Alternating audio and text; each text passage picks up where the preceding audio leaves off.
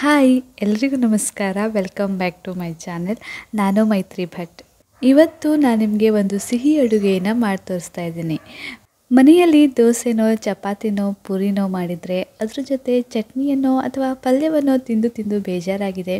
ಇನ್ನೇನು ಮಾಡೋದು ಅಂತ ನೀವು ಯೋಚನೆ ಮಾಡ್ತಾ ಇದ್ದರೆ ಈ ರೆಸಿಪಿಯನ್ನು ನೀವೊಮ್ಮೆ ಮಾಡಿ ನೋಡ್ಬೋದು. ಅಂದಹಾಗೆ ನಾನಿವತ್ತು ನಿಮಗೆ ಮಾಡಿ ತೋರಿಸ್ತಾ ಇರೋದು ಶ್ರೀಖಂಡವನ್ನು.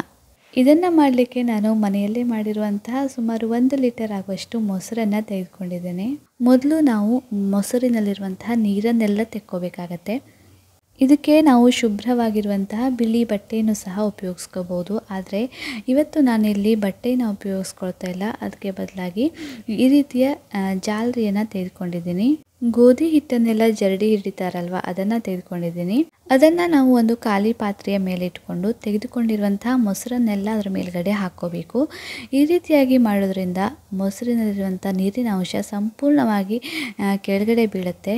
ಮೇಲುಗಡೆ ಗಟ್ಟಿಯಾಗಿರುವಂತಹ ಮೊಸರು ನಮಗೆ ಸಿಗುತ್ತೆ. ಮೊಸರನ್ನು ಪಾತ್ರೆಯಲ್ಲಿ ಹಾಕಿದ ನಂತರ ಸುಮಾರು ಒಂದು ಹದಿನೈದರಿಂದ ಇಪ್ಪತ್ತು ನಿಮಿಷಗಳ ಕಾಲ ಅದನ್ನು ಹಾಗೆ ಇಡಬೇಕು. ಮೊಸರಿನಲ್ಲಿರುವಂತಹ ನೀರಿನ ಅಂಶವೆಲ್ಲವೂ ಕೂಡ ಕೆಳಗಡೆ ಇಳಿಯುತ್ತೆ. ಹಾಗೆ ಗಟ್ಟಿಯಾದ ಮೊಸರು ನಮಗೆ ಮೇಲ್ಗಡೆ ಸಿಗತ್ತೆ. ನೋಡಿ ಎಷ್ಟು ಗಟ್ಟಿಯಾದ ಮೊಸರು ನಮಗೆ ಸಿಕ್ತು ಅಂತ. ನೋಡಿ ಈ ರೀತಿಯಾಗಿ ಸಿಕ್ಕಿರುವಂತಹ ಗಟ್ಟಿ ಮೊಸರಿನಿಂದ ನಾವೊಂದು ಹತ್ತು ನಿಮಿಷದೊಳಗಡೆ ರುಚಿಕರವಾದಂತಹ ಶ್ರೀಖಂಡವನ್ನು ತಯಾರಿಸ್ಬೋದು.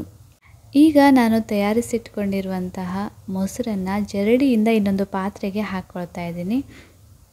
ಎಲ್ಲ ಮೊಸರನ್ನು ಪಾತ್ರೆಗೆ ಹಾಕ್ಕೊಂಡಾದ ನಂತರ ಇದಕ್ಕೆ ಒಂದು ಬೌಲ್ ಆಗುವಷ್ಟು ಸಕ್ಕರೆಯನ್ನು ಹಾಕ್ಕೊಳ್ತಾ ಇದ್ದೇನೆ. ನೀವು ಸಿಹಿಯನ್ನು ತುಂಬಾ ಇಷ್ಟಪಡ್ತೀರಿ ಅಂತಾದರೆ ಇನ್ನೂ ಸ್ವಲ್ಪ ಸಕ್ಕರೆಯನ್ನು ಹಾಕ್ಕೋಬೋದು ಸಕ್ಕರೆಯನ್ನೆಲ್ಲ ಹಾಕ್ಕೊಂಡಾದ ನಂತರ ಒಂದು ಚಮಚವನ್ನು ತೆಗೆದುಕೊಂಡು ಸಕ್ಕರೆ ಸಂಪೂರ್ಣವಾಗಿ ಕರಗುವವರೆಗೂ ಸಹ ಈ ರೀತಿಯಾಗಿ ಕಲಿಸ್ತಾನೆ ಇರಬೇಕು. ನಾವಿಲ್ಲಿ ಸಕ್ಕರೆ ಬದಲಾಗಿ ಸಕ್ಕರೆಯನ್ನು ಪುಡಿ ಮಾಡಿ ಸಹ ಹಾಕ್ಕೋಬೋದು ಆದರೆ ಸಕ್ಕರೆ ಪುಡಿ ಮಾಡಿ ಹಾಕಿದರೆ ರುಚಿ ಅಷ್ಟೊಂದು ಚೆನ್ನಾಗಿರಲ್ಲ. ಸ್ವಲ್ಪ ಶ್ರೀಖಂಡ ನೀರು ಒಡೆದ ಥರ ಎಲ್ಲ ಆಗಿಬಿಡತ್ತೆ. ಆ ರೀತಿಯಾಗೆಲ್ಲ ಇದ್ದರೆ ರುಚಿ ಅಷ್ಟೊಂದು ಚೆನ್ನಾಗಿರಲ್ಲ. ಬೇಗ ಹುಳಿ ಬಂದುಬಿಡತ್ತೆ. ಆದರೆ ನಾವು ಸಕ್ಕರೆಯನ್ನು ಹಾಕಿ ಈ ರೀತಿಯಾಗಿ ಕಲಸಿ, ಆ ಶ್ರೀಖಂಡ ಕ್ರೀಮಿ ಕ್ರೀಮಿಯಾಗಿ ಬರುವವರೆಗೂ ಕಲಿಸ್ತಾ ಇದ್ಬಿಟ್ರೆ ಶ್ರೀಖಂಡ ತುಂಬಾ ರುಚಿಯಾಗಿರುತ್ತೆ. ಶ್ರೀಖಂಡವನ್ನು ಮಾಡುವಾಗ ನಾವು ಅದಕ್ಕೆ ಕೇಸರಿಯನ್ನು ಸಹ ಹಾಕೋಬೋದು. ಆದರೆ ನಾನಿವತ್ತು ಇದಕ್ಕೆ ಕೇಸರಿಯನ್ನು ಉಪಯೋಗಿಸ್ಕೊಳ್ತಾ ಇಲ್ಲ. ಹಾಗೆ ಮಾಡ್ತಾ ಇದ್ದೀನಿ. ಒಂದು ಐದರಿಂದ ಆರು ನಿಮಿಷಗಳ ಕಾಲ ಈ ರೀತಿಯಾಗಿ ಮೊಸರನ್ನು ಚೆನ್ನಾಗಿ ಕಲಿಸ್ಕೊಳ್ತಾನೆ ಇರಬೇಕು. ನೋಡಿ, ಮೊಸರಿಗೆ ಹಾಕಿರುವಂಥ ಸಕ್ಕರೆ ಸಂಪೂರ್ಣವಾಗಿ ಕರಗಿ, ಮೊಸರು ನೋಡಿ ಕ್ರೀಮ್ ಥರ ಆಗಿದೆ ಇವಾಗ. ಇಷ್ಟಾದ ಮೇಲೆ ನಾನು ಇದಕ್ಕೆ ಕುಟ್ಟಿ ಪುಡಿ ಮಾಡಿರುವಂತಹ ಏಲಕ್ಕಿ ಪುಡಿಯನ್ನು ಹಾಕ್ಕೊಂಡಿದ್ದೀನಿ. ಆಮೇಲೆ ಡ್ರೈ ಫ್ರೂಟ್ಸನ್ನು ಹಾಕೋಬೇಕು. ಅದನ್ನೇ ಹಾಕಬೇಕು, ಇದನ್ನೇ ಹಾಕಬೇಕು ಅಂತ ಏನಿಲ್ಲ. ನಮ್ಮ ಹತ್ರ ಯಾವುದಿದೆಯೋ, ನಮಗೆ ಯಾವುದು ಸೇರುತ್ತೋ ಆ ಡ್ರೈ ಫ್ರೂಟ್ಸನ್ನು ಹಾಕೋಬೋದು.